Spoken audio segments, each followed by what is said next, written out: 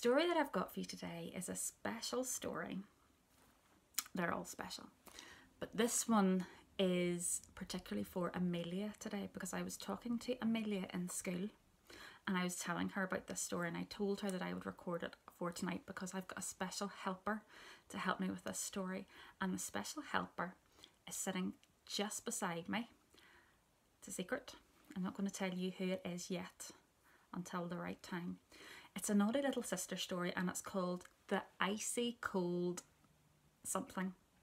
But I can't tell you what the something is yet because it will spoil the surprise. So the icy cold something.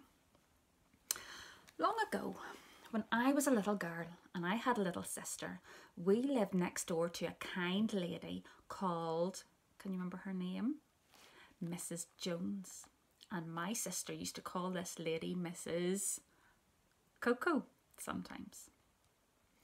If my mother had to go out and couldn't take my little sister, this kind next door lady used to mind her. My sister was always glad to be minded by Mrs. Coco, and Mrs. Coco was always glad to mind my little sister. They enjoyed minding days very much. Well, now, one cold, blowy day when the wind was pulling all the old leaves off the trees to make room for the new baby ones to grow, our mother asked Mrs. Coco Jones to mind my sister while she went shopping. Mrs. Coco and my sister had a lovely time. They swept up all the leaves from Mr. Jones's nice tidy paths and put them into a heap for him to burn. They went indoors and laid Mr. Jones's tea. And they were just going to sit down by the fire to have a rest when they heard Mr. Coco coming down the back path. Mr. Coco came down the path pushing his bicycle with one hand and holding a very strange looking wooden box with holes in it in the other hand. When Mr. Jones saw my little sister peeping at him out of his kitchen window, he smiled and smiled. Hello, Mrs. Pickle, he said. What are you doing here then? I'm being minded, said my little sister. And then, because she was an inquisitive child, she said, What have you got in that box, Mr. Coco? Just wait a minute and I'll show you, Mr. Coco said, and he went to put his bicycle in the shed.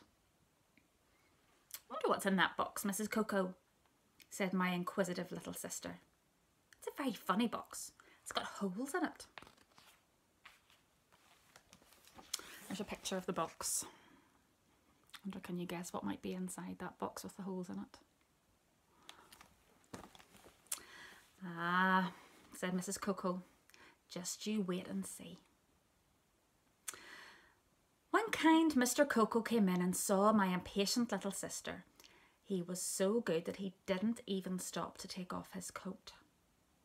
He opened the box at once and my sister saw an icy, cold, what do you think it is? Tortoise fast asleep, lying on top of a lot of hay. What do you think? This is our tortoise Flash, so he's going to help us with the story. So I'll put him up here, he might climb a little bit as well. Have you ever seen a tortoise? Well, you have now, haven't you? But my little sister had never seen a tortoise. And tortoises are very strange animals. They have hard round shells. There's his hard round shell. And they have long crinkly necks. To really poke, poke his head out. Mm. And biggy little noses. If I turn around this way, you might see his biggy little nose. There. You see it?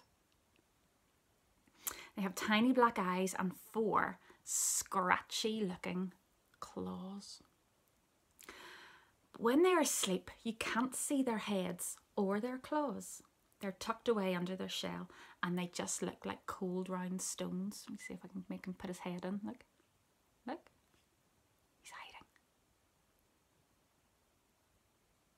and he'll come out again.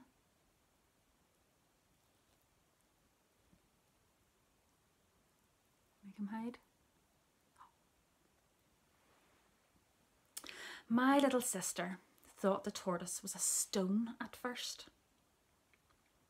She touched it and it was icy cold. What is it? She said, what is this stone thing?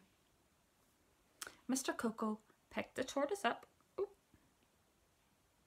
and showed her where the little claws were tucked away and the beaky little shut eyed face under the shell.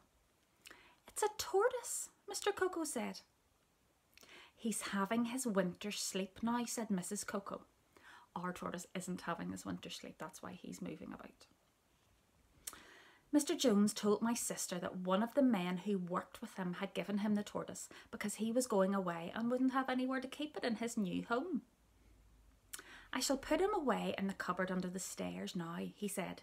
He will sleep there all winter and wake up again when the warm days come.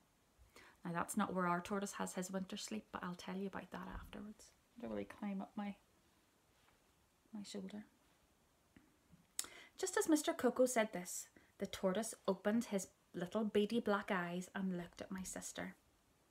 Then it closed them and went to sleep again. So Mr. Coco put it in his box right at the back of the cupboard under the stairs. That's a funny animal, said my little sister. After that, she talked and talked about the tortoise. She kept saying, When will it wake up? When will it wake up? But it didn't. So she got tired of asking. And by the time Christmas came, she had almost forgotten about it. And when the snow fell, she had quite forgotten. And when spring came and the birds began to sing again, she went in one day to have her morning cocoa with her next door friend, Mrs. Jones. And Mrs. Jones had forgotten too. Go and flash. They were just drinking their cocoa, and Mrs. Jones was telling my naughty little sister about some of the things that she had done when she was a little girl when they heard thump, thump, bang, bang. Oh dear, said Mrs. Coco, there's someone at the front door. And she went to look. But there wasn't. Thump, thump. It must be the back door, said Mrs. Coco Jones, and she went to look. But it wasn't.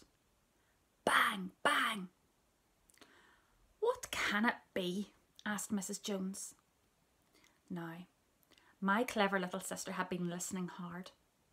It's in understairs place, Mrs. Coco, she said. Listen. Thump, thump. Bang, bang. Oh, goodness, said Mrs. Coco, but she was a brave lady. She opened the door of the cupboard and looked, and my little sister looked too. And Mrs. Coco stared, and my little sister stared. There was the tortoise's wooden box shaking and bumping because the cross tortoise inside had woken up and was banging to be let out. Goodness me, said Mrs. Coco, that tortoise has woken up. Goodness me, said my funny sister. That tortoise has woken up. And Mrs. Coco looked hard at my little sister, and my little sister looked hard at her. I shall have to see it, Mrs. Coco said, and she picked up the bumping box and carried it into her kitchen to put the box on the table. Then she lifted my sister up onto the chair so that she could watch. Mrs. Coco lifted the lid off the box, and there was that wide awake tortoise. His head was waggle waggling and his claws were scratch scratching to get out. I used to have a tortoise when I was a girl, Mrs. Coco said, so I know just what to do. And do you know what she did? She put some warm water into a bowl and she put the tortoise into the warm water. And then she took it out and dried it very, very carefully on an old towel. Then Mrs. Coco put the clean, fresh tortoise onto the table and said, Just you mind it while I go and get it something to eat. There's a good child. My sister did keep her hand on the tortoise's back, and she was quite still until Mrs. Coco came back with the cabbage leaf. Look, my naughty little sister said, Look at its waggling head, Mrs. Jones. And she put her face right down so that she could see her black eyes. Hello, Mr. Tortoise, she said. and the tortoise made a funny noise at her. It said, hiss, just like that. My poor sister was surprised. She didn't like that noise very much, but Mrs. Coco said that the tortoise only said hiss because it was hungry and not because it was cross. Mrs. Coco said tortoises are nice, friendly things so long as you get them go you let them go their own way. And because my little sister had minded the tortoise for her, she let him have the first cabbage leaf. At first, he only looked at it and pushed it about with his biggy head, but at last he bit a big bit out of it. There, Mrs. Jones said, that's the first thing he's tasted since last summer. Fancy that.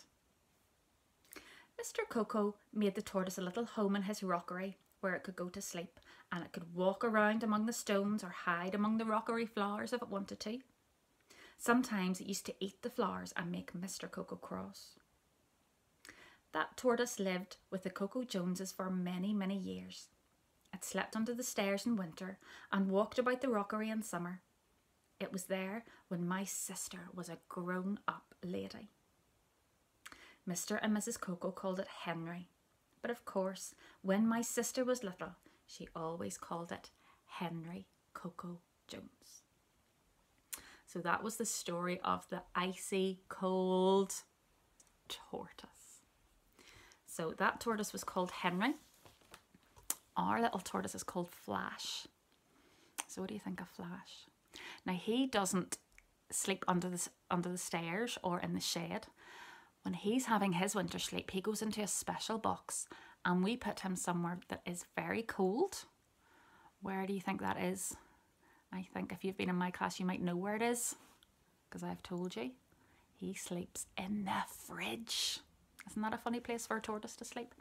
So he sleeps in the fridge because that just keeps him at the right temperature to keep him asleep. And then he doesn't wake up until it's summertime. If I put him on a cushion, I might see if we can walk about a little bit for you. And he eats weeds. His favourites are dandelions. That's what he likes to eat the best. He eats other things too. Oh, he's coming to see you. You can give Flash a wave. Flash is a reptile, that's a special kind of animal. So maybe you could have a look in a book or um, ask mummy or daddy to help you look online and find out some information about tortoises and reptiles.